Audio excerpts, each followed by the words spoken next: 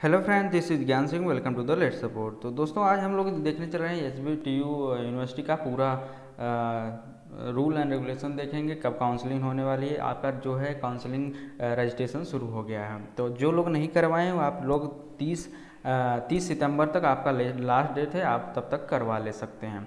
तो आपका जैसा कि जान सकते हैं आपका ये शुरू हो गया है S B T U university का शुरू हो गया है काउंसलिंग के लिए रजिस्ट्रेशन तो हमारा S B T U college का नाम क्या है? हरकोट बटलर टेक्निकल यूनिवर्सिटी है। तो चलिए देखते हैं क्या है और कैसे एडमिशन प्रोसेस क्या है और कैसे होगा और कितना कट ऑफ़ जाता है। इसका सारी डिटेल हम सारी जानकारियाँ इसमें लेने वाले हैं। तो चलिए बिना किसी देरी के शुरू करते हैं। तो चलिए सब उस सबसे पहले उसके साइट पर जाएँगे तो कुछ तर, इस तरीके से आपकी साइट्स खुलेगी ठीक?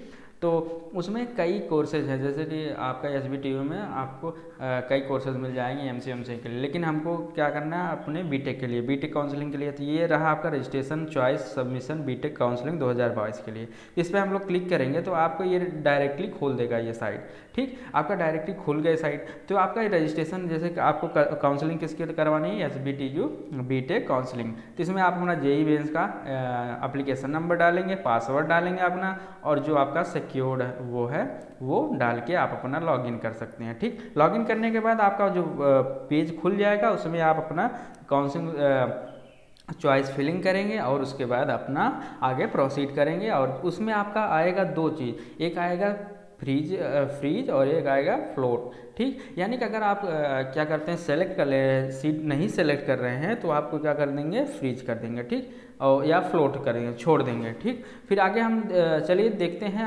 इसका कटाव कितना गया है पूरा, और पूरी जानकारी, और कितना इसमें क्या क्या लगेगा आपको एडमिशन के लिए, और क्या क्या चाहिए, ठीक? उसमें देखते हैं तो जैसे कि हम अपना इन्फॉर्मेशन ब्रोचर खोल लिए हैं तो ये आपका आ गया गाइडलाइंस कुछ एडमिशन के लिए, ठीक? एडमिशन से रिगार्डिंग आप इसमें क्या है जे मेन्स का ऑल इंडिया रैंक पे आपका एडमिशन होगा। और कुछ पहले इसका, ये खुद का एक एग्ज़ाम करवाता है, उसके बेसिस पे भी आपका हो जाता है, ठीक? जैसे कि आपको केमिस्ट्री में है बायोटेक्नोलॉजी में है बायोलॉजी या computer science technical vacant subject में आपको मिल जाएगा। आपको डॉक्यूमेंट कहाँ कहाँ होना चाहिए? ज़रूरी है आपको उत्तर प्रदेश के होने चाहिए, ठीक? उसके बाद कुछ जानकारी और आगे नीचे चलते हैं, पूरी जानकारी लेते हैं। उसमें आपको फ़ी वेवर सीट भी मिलती है। आप वहाँ से पता करके आप वहाँ पे एडमिशन ले सकते हैं, ठीक? फिर आगे आते हैं, आगे अपनी काम की चीज़ पे आते हैं। अपना काम की चीज़ है, जैसे कि देख सकते हैं शेड्यूल से, आपका क्या है?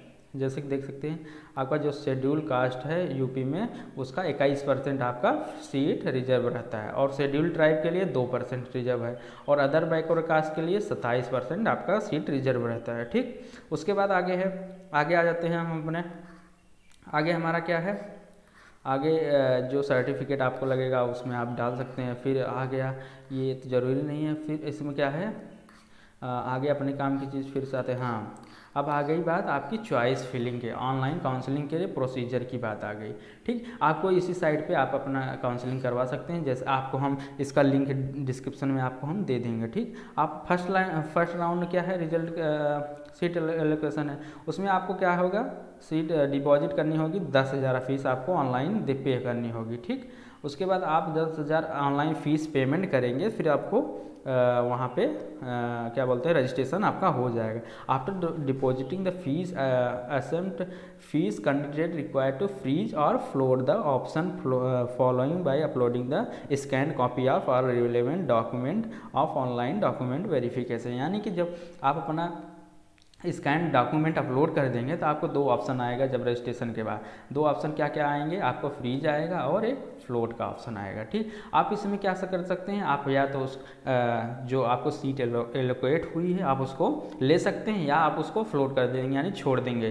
फिर उसके बाद अब फिर नेक्स्ट राउंड होगा उसमें चाहे तो आप उसमें भी ले सकते हैं।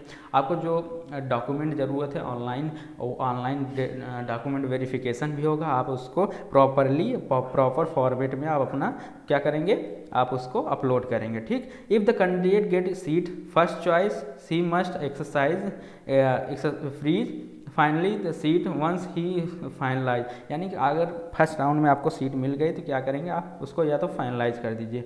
अब इफ़ ही या she require to deposit balance academic fees यानी कि जब आप दस हज़ार जमा किए रहेंगे तो उसमें क्या हो जाएगा? एक लाख पैंतीस हज़ार आपको पूरा देना होता है, लेकिन आप अगर फ़ीस मान लीजिए सीट एक्सेप्ट कर लिए हैं तो आपको एक लाख पैंतीस हज़ार, पच्चीस हज़ार फिर से देना पड़ेगा, ठीक? Non non deposit fees cancel allotted seats ठीक? उसके बाद फिर क्या आ जाता है हमारा? इफ़ द कैंडिडेट फिर वही फ्लोट का ऑप्शन आ जाएगा। फिर आप अगर फिर फ़र्स्ट राउंड तक गए सेकंड राउंड तक गए थर्ड राउंड तक, आपको इन केस सम पाँच हज़ार डिडक्टेड उसमें से पाँच हज़ार आपको डिडक्ट होके मिल जाएगा, ठीक? तो इस तरीके से आपका कुछ प्रोसेस रहेगा। आप इसको हम ये इन्फॉर्मेशन ब्रोचर आपको पीडीएफ के फॉर्म में आपको डिस्क्रिप्शन मिल जाएगा। आप वहाँ से भी देख सकते हैं, ठीक? आपको जो भी जानकारी अगर न समझ में आ रही हो तो हमसे ले सकते हैं तो इसके लिए आप चैनल को सब्सक्राइब कर लीजिएगा ठीक? फिर उसमें क्या होता है कुछ एडिशनल राउंड भी होता है ठीक? फिर फिर उसके बाद एक स्पॉट राउंड होता है ठीक? स्पॉट राउंड में जो बचे कुछ सीट्स होती हैं वैकेंट सीट को वो भरते हैं ठीक? फिर उसके बाद आ गया ये आपका कुछ रहा ऑनलाइन रजिस्ट्रेशन रजिस्ट्रेशन फ़ी पच्चीस सौ नॉन रिफंडेबल हो गया ठीक? फिर उसके बाद आगे आपने आ, फिर काम की चीज़ पे आते हैं फिर आगे आपका एडिशनल राउंड काउंसलिंग का हो तो मान लीजिए है जे ही मेन्स के। फिर आपका ये जैसा कि ये देख सकते हैं कि हमारा ये 26 से ही स्टार्ट था। अब आपका आ गया 23 सितंबर आपका लास्ट डेट रहेगा। फिर फ़र्स्ट राउंड सीट का अलॉकआउट हो रही है? अक्टूबर चार को। फ़र्स्ट राउंड सीट अक्टूबर चार को एलोकेट हो रही है, और फिर फ़ीस डिपॉजिट कब करनी है हमको? पाँच तारीख को पाँच से आठ के बीच में हमको फ़ीस डिपॉजिट कर देना है। अगर फिर उसके बाद या तो आप अपना बैलेंस अकेडमिक फ़ीस जमा करिए, या फ़ीस कर फ्रीज कर दिए नौ से दस के बीच में आपको कर देना है, और वैकेंसी रिपोर्टिंग आपको दस बजे तक दस तारीख को रिपोर्टिंग कर देनी है। ठीक? उसके बाद सेकेंड राउंड का, कब स्टार्ट हो रहा है? सेकेंड राउंड आपका ग्यारह से स्टार्ट हो रहा है। फिर थर्ड राउंड कब स्टार्ट हो रहा है? अठारह अक्टूबर से स्टार्ट हो रहा है। फिर फिर आपका फोर्थ, फिर ऑनलाइन रजिस्टर फ़र्स्ट सेमेस्टर की फ़ीस जमा करनी होगी। तो इस तरीके से कुछ रहा, आपका ये फ़ीस स्ट्रक्चर देख लीजिए नॉन गवर्नमेंट कंपोनेंट यानी पचहत्तर हज़ार आपको फ़ीस पूरी जमा करनी होगी। फिर उसके बाद इसी इसी में सारा आपको एडिशनल देते देते, सब कुछ देते, आपका जो चार्ज लगता है चार्ज लगने के बाद एक लाख पैंतीस हज़ार पूरा टोटल हमारा फ़ीस बन रहा है, ठीक? ये हमारा एक लाख पैंतीस हज़ार पूरा फ़ीस बन रहा है, ठीक? ये मानी कि हमारा साल भर का ये रहेगा फ़ीस। ठीक? इस तरीके से आपको इसके तरीके से आपका रहेगा फ़ीस स्ट्रक्चर फिर आ जाते हैं इसके कुछ थर्ड राउंड के आ, मतलब लास्ट राउंड के कुछ आ, क्या क्या आ, मतलब कितने कितने कितने पे आपको क्लोजिंग और ओपनिंग रैंक आपको देखते हैं. ठीक? तो सबसे पहले हम देख लेते हैं जनरल कैटेगरी जनरल कैटेगरी में आपको बायोकेमिकल इंजीनियरिंग कितने मिल रही है? तिहत्तर हज़ार पाँच सौ अस्सी पे। और क्लोजिंग रैंक कितनी है? एक लाख तक गई है, ठीक? फिर आपका सिविल आ गया इसी तरीके से। छत्तीस हज़ार पे स्टार्ट हुआ है छः इकसठ हज़ार सात सौ चालीस पे गया है। यानी जिस तरीके से अच्छे ब्रांच में जाएँगे तो उसी तरीके से आपको फिर हो जाए कंप्यूटर साइंस कितने पे है? चौदह हज़ार पाँच सौ छियासी पे। और क्लोजिंग रैंक कितनी है? बीस हज़ार नौ सौ तेईस पे। क्लोज हो जाएगा।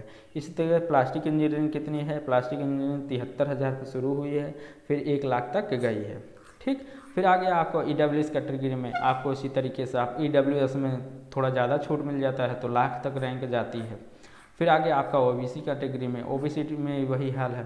ओ बी सी में कितनी है? दस हज़ार इतनी, इस बायो सबसे पहले हम ज़्यादा प्रेफरेंस देते हैं कंप्यूटर साइंस को। ये हमारा बाईस हज़ार पैंसठ पर शुरू हुआ है और सत्ताईस हज़ार पर ख़त्म हो गया ओ बी सी में। ठीक? और फिर एससी कैटेगरी में क्या है? हमारा अड़सठ हज़ार सात सौ नब्बे है और तेरह हज़ार एक लाख तीस हज़ार सात इकहत्तर है। ये ठीक? फिर आ गया एसटी कैटेगरी में। तो इसी तरीके से आपका है पी एस कैटेगरी में। इसमें कोई अभी हमको कोई डाटा नहीं मिल पाया। अगर आपको वीडियो समझ में आ रहा हो तो चैनल सब्सक्राइब कर लीजिएगा। फिर आपका एडिशनल राउंड आता है। एडिशनल राउंड जनरल में क्या है? जैसे कुछ सीटें बची हुई होती हैं तो उसमें उसके लिए है। ठीक? तो ये वाला पीडीएफ भी हम लिंक डिस्क्रिप्शन में दे देंगे, आप वहाँ से भी देख सकते हैं। तो आशा करते हैं आपको समझ में आया तो समझ में आया तो वीडियो को लाइक कर दीजिएगा, चैनल को सब्सक्राइब कर लीजिएगा, और कोई भी क्वेरी हो आप हमसे पूछ सकते हैं, ठीक? तो तो चलिए अगले वीडियो में मिलते हैं फिर से, तब तक के लिए धन्यवाद, और चैनल को सब्सक्राइब कर लीजिएगा, और कोई भी परेशानी हो तो हमसे पूछ सकते हैं। Thank you.